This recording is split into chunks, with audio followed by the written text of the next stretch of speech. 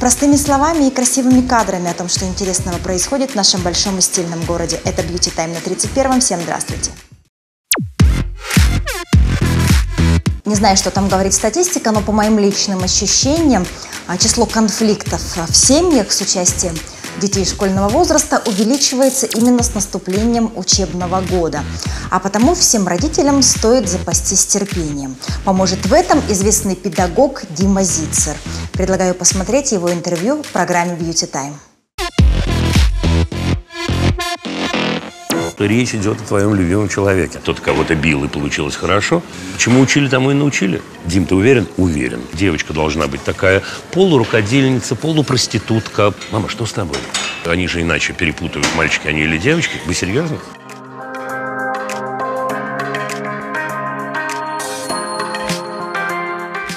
Дима Зицер. Человек, отец, педагог. Сегодня в гостях у нас.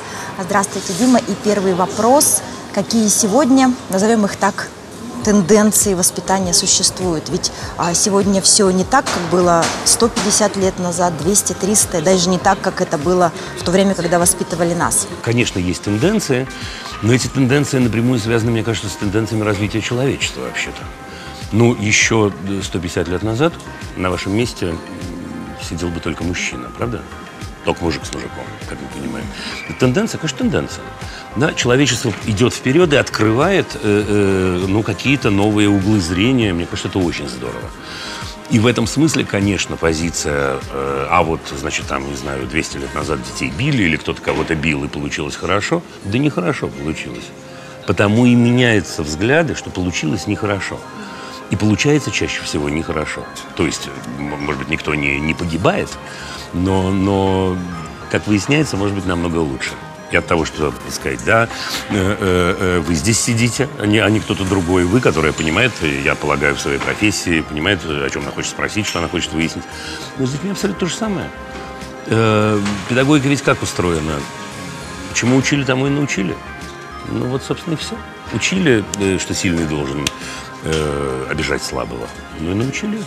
Меня давно волнует такой вопрос, почему, когда э, ребенок маленький, он нас умиляет и радует по э, любому поводу, там, первой своей улыбкой, первыми шагами, первыми словами, а впоследствии э, когда уже лет побольше и, например, не вовремя решенный пример у нас э, вызывает ну, в лучшем случае отчаяние, досаду, а то и просто вот какую-то гамму негативных чувств. Почему так получается, что мы до определенного возраста безусловно принимаем ребенка, а потом не безусловно? Это блестящий вопрос, я должен вам сказать.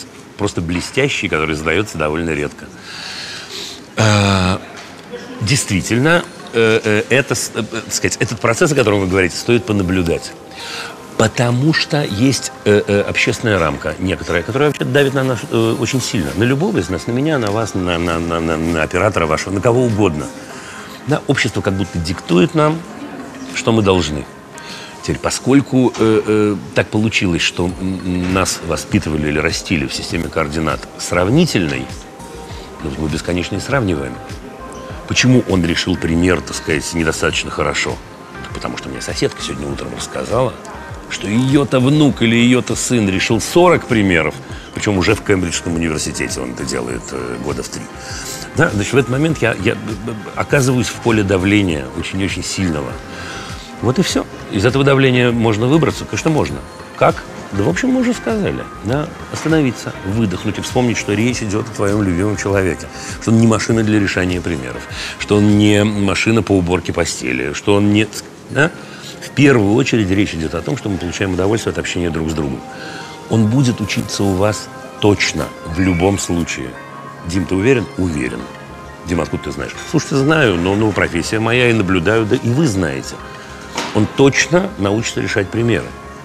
Но было бы круто, если бы при этом он еще научился задавать себе вопрос, а зачем я решаю примеры? Это прям круто, это высший пилотаж. Зачем? Не в смысле не хочу, вот не услышьте меня неверно. А зачем? Это хороший вопрос. Как мне это помогает понять себя, как мне помогает это остановить отношения с миром, как мне помогает это. Ну, в общем, вот это вот все.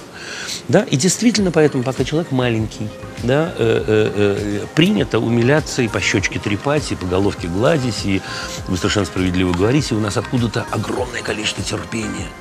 Потому что модель такова, что пока он растет, совсем малюсенький, ну, как бы так вот, ну, что он сам действительно, ничего не, не, не, без мамы ни туда, ни сюда, поэтому мы его здесь подвинули, здесь обняли, здесь поцеловали и так далее. Чем старше он становится, тем больше у него, чем больше проявляется его самость, вот такое я слово скажу, да, то есть я, а здесь тем сложнее нам становится, потому что мы как будто, как будто забываем, вернее, не, не успеваем научиться, потому что мы личностно взаимодействуем.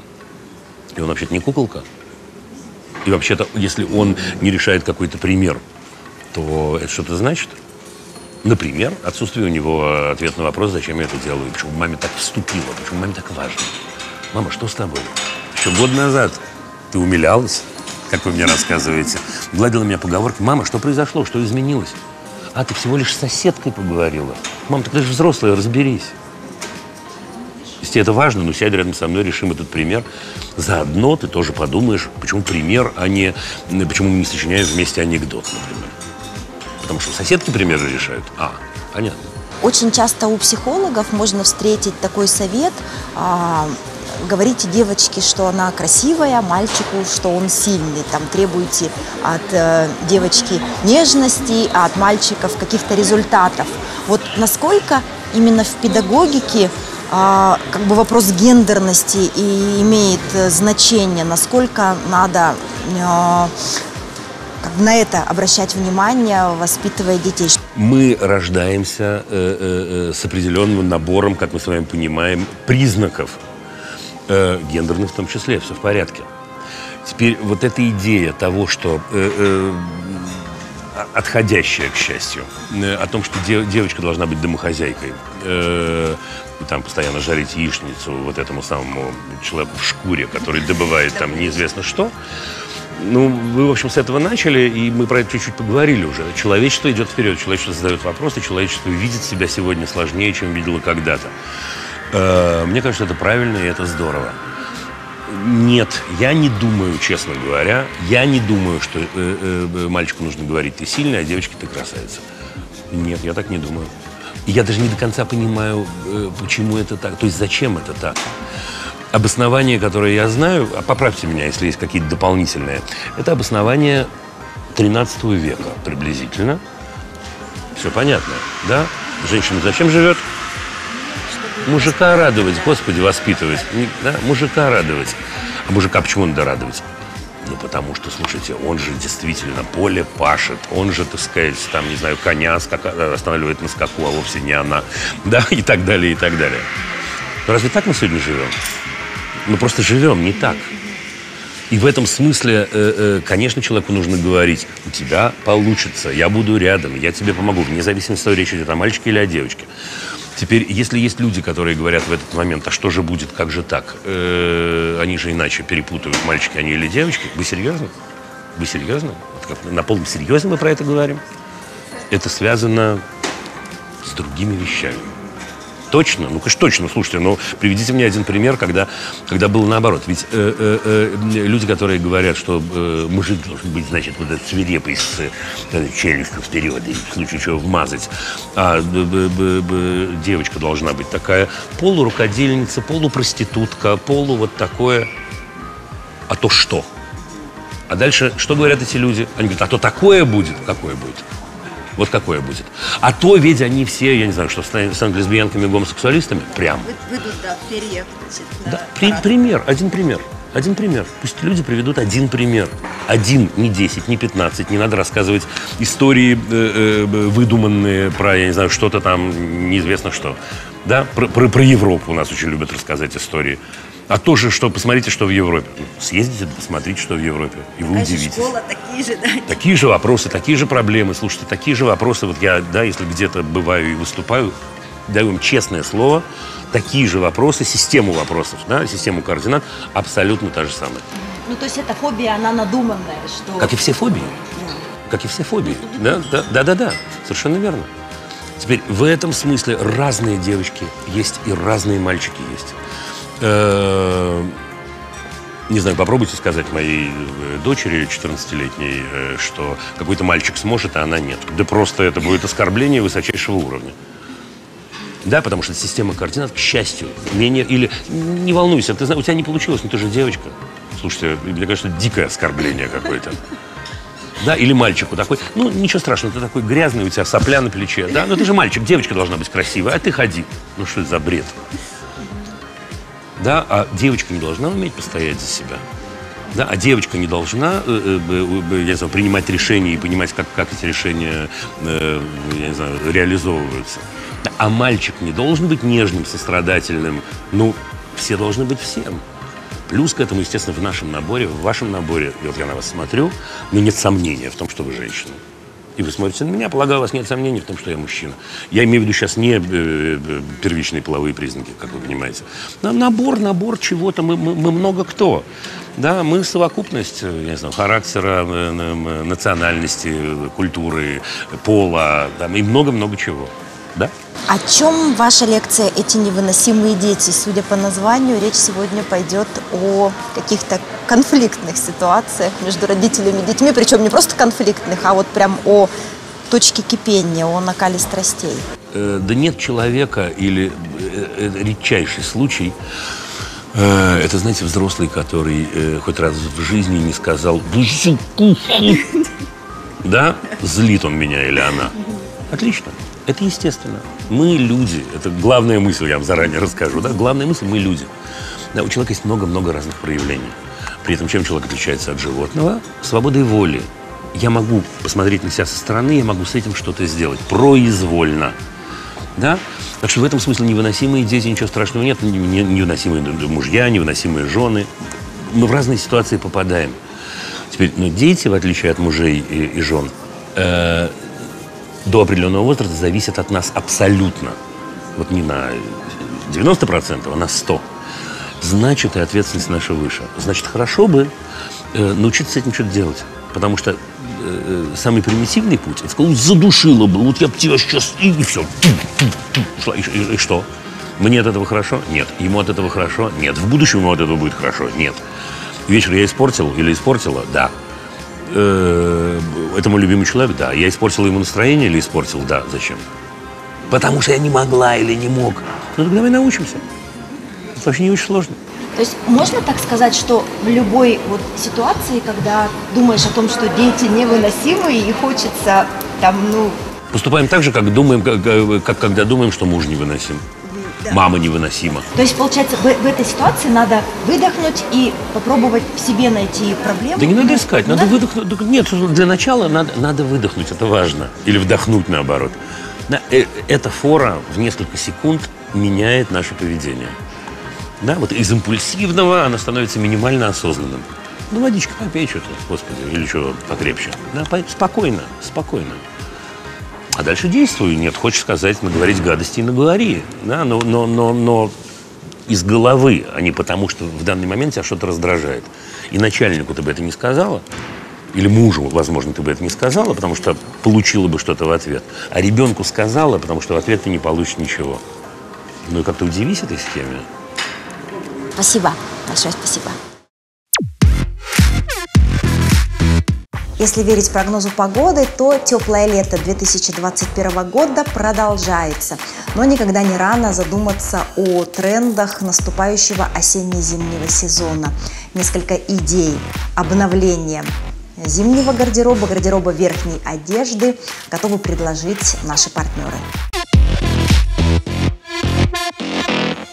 Сегодня нам сложно представить свою жизнь без шопинга, а шопинг без распродаж. В магазинах Ахара стартовал сезон горячих скидок. Не упустите отличную возможность обновить гардероб по выгодным ценам. Покупать пуховик на распродаже не только выгодно, но и приятно. Вы выделили сумму на покупку одной вещи, а во время распродажи сможете позволить себе две. Например, удлиненный пуховик для городских прогулок и удобную куртку для отдыха на природе – ведь цены на многие модели снижены больше, чем вдвое. Зимой такого не встретишь. При этом распродажа никак не влияет на ассортимент. Это все те же отлично скроенные и стильные модели. Подобрать можно все. Модную парку, теплую аляску, элегантные куртки, стильные пуховые пальто нежных и сочных оттенков. В погоне за выгодными ценами на распродажах не забывайте следить за качеством. В магазинах Ахара вы найдете именно качественные пуховики. Выбирайте магазин, который заслуживает доверия. Магазин Ахара объявляет грандиозную распродажу курток и пуховиков. Огромные настоящие скидки. Утеплить к зиме нужно всю семью. Порадуйте свой кошелек, посетите распродажу в Ахара, чтобы на несколько месяцев забыть о прогнозе погоды и смене сезона. А для удобства покупателей в магазине Ахара можно быстро оформить беспроцентную рассрочку. Магазины Ахара расположены по адресам проспект Победы 163 напротив Теплотеха, проспект Ленина 71 у Алого поля, ТРК «Космос» второй этаж, ТРК «Родник» второй этаж и ТРК «Алмаз». Ахара. Купи пуховик от 2900 рублей. И не забывайте, что готовиться к холодам лучше в теплое время года. Так можно хорошо сэкономить и не торопясь выбрать ту вещь, которая вам по душе. Успевайте купить качественную верхнюю одежду по выгодным ценам. Вы смотрите программу Beauty Time. Продолжаем выпуск. Внезапно начавшийся дождь может легко испортить прическу, но это не самая страшная потеря, которую приносят осадки – Гораздо больше от шалости природы страдает обувь. Как правильно восстановить промокшие мокасины, туфельки или сандали с учетом типа кожи и применением современных средств, рассказывают наши эксперты, специалисты известных обувных мастерских Инна Калашникова, Алексей Гассий и Алексей Бурлуцкий. Два таких э, больших типа – это кожи. Туда можно отнести гладкие кожи, кожу рептилий, там, всеобразных, и замшу. Замша, нубук, велюр, Э, что касается ухода в домашних условиях, то замша – это обязательно уход в первую очередь на сухую. Лучше ничего не делать, дождаться, пока замша высохнет. И не рекомендуем сушить, очень категорически запрещаем, даже так сказать, э, сушить на батареях, потому что идет очень сильное сушение кожи и деформация обуви. То есть температура должна быть примерно комнатная.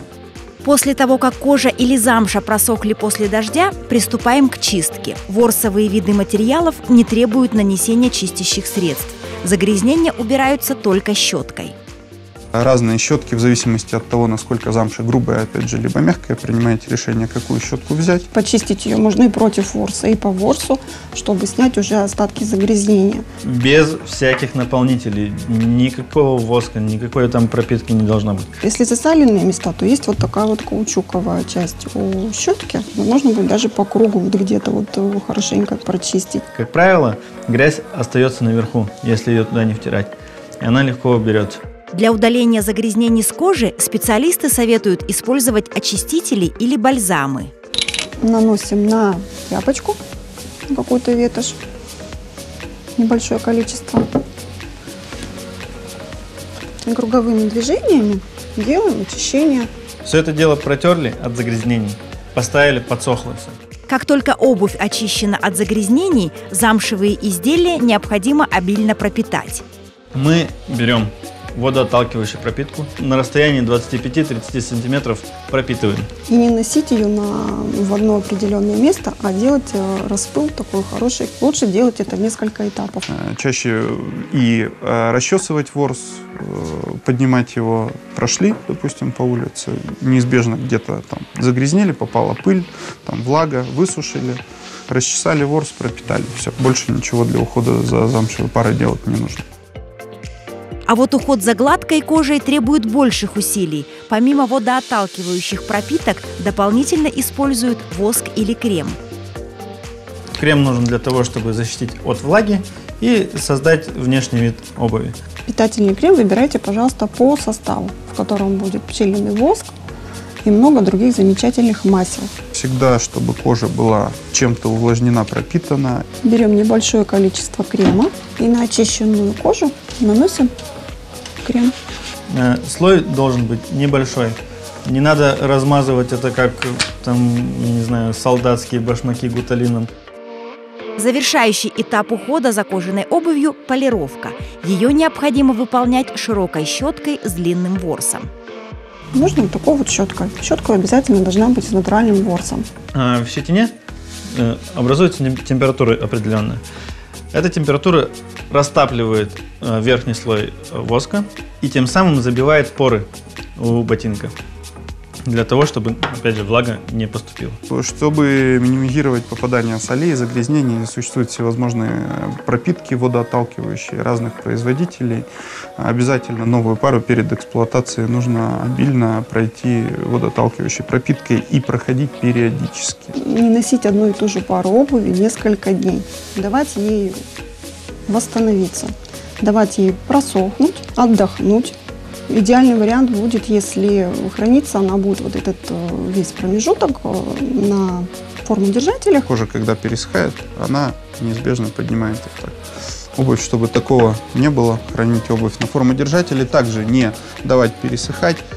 В межсезонье обувь необходимо консервировать, то есть правильно хранить в тот период времени, когда мы ее не носим. Правильная консервация продлевает срок службы и сохраняет внешний вид. Хранить ее чистой. Что замшевую обувь, что кожаную обувь хранится именно, она должна чистая, а не подготавливаться к сезону. Если пара хранилась вот в таком вот состоянии, она также пересыхала, потому что у нее нету, она не пропитана никакими ни кремами, ни восками. А, ее приносят, говорит, вот, пожалуйста, подготовьте ее к лету. Это неправильно. Правильнее данную пару приносить, наоборот, сентябрь-октябрь, когда вы ее сняли, мы ее сделали, все, дальше она у вас хранится, ждет своего какого-то периода летнего сезона. Мастера обувных мастерских, они подобно косметологам, подбирают средства по типу кожи, обеспечивают уход и продлевают молодость. В данном случае туфлям, сапогам и ботинкам. А аккуратная обувь – это, согласитесь, неотъемлемый атрибут успешного человека.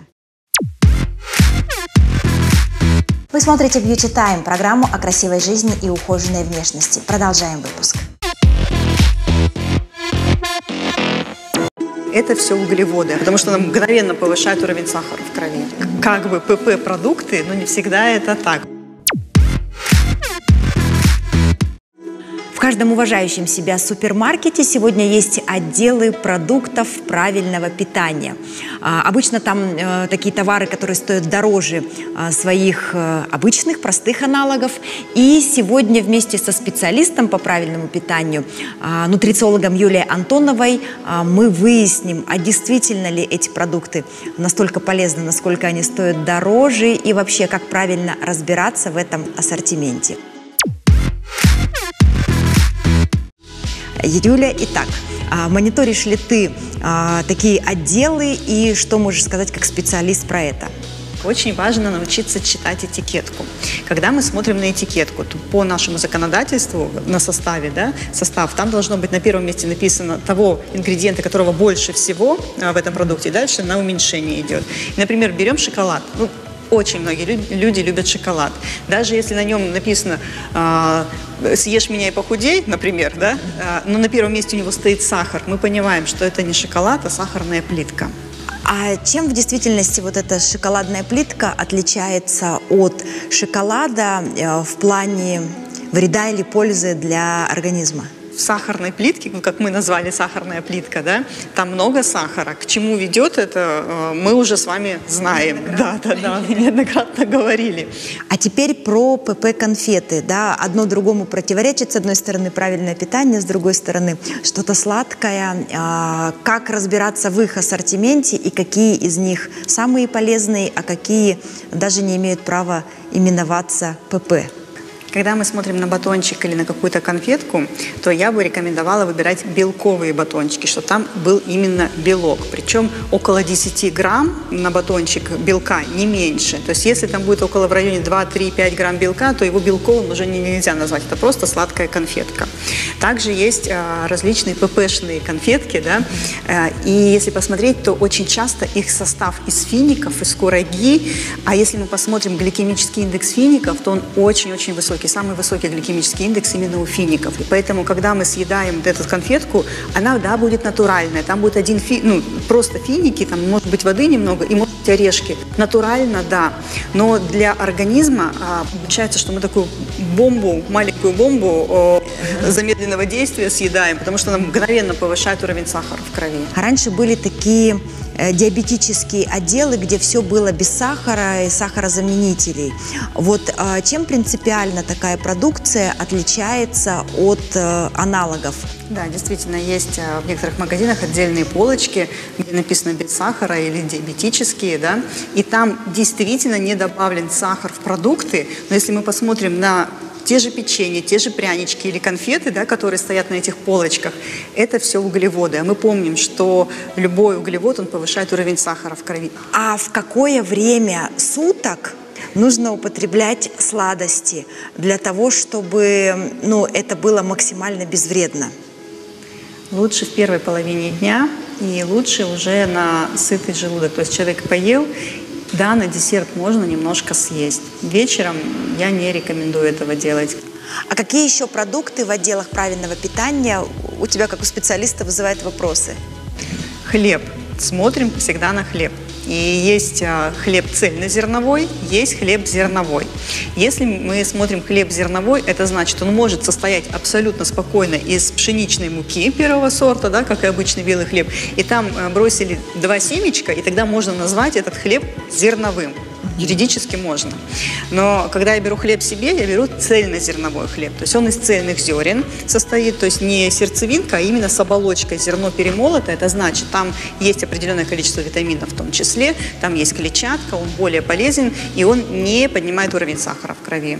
А если действительно разница, какая там мука? Если говорить, из чего сделано то или иное изделие, да, то есть из пшеничной муки или кукурузной или еще какой-то, то мука, она и есть мука мука, и это углеводы.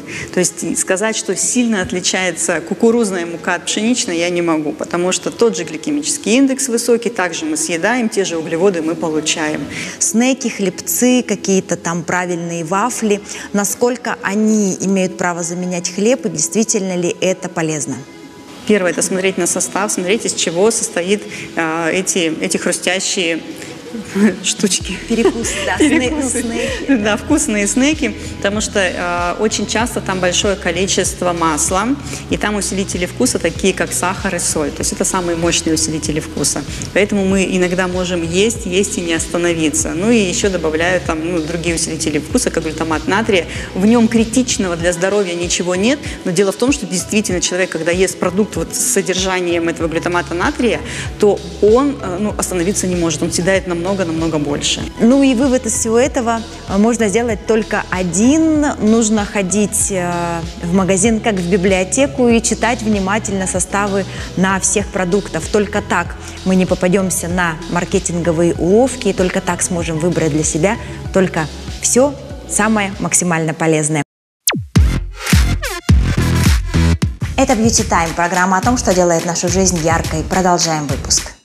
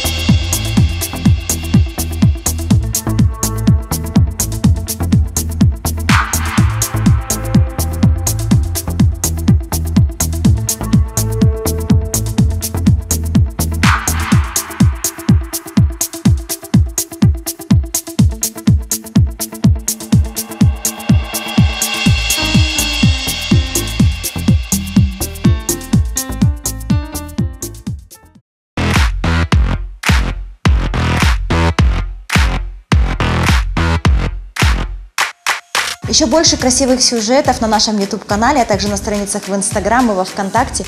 Всегда рады обратной связи с вами и до новых встреч в эфире. Наши стильные партнеры. Имидж-студия Елены Ивановой. Ателье «Модный дом Я».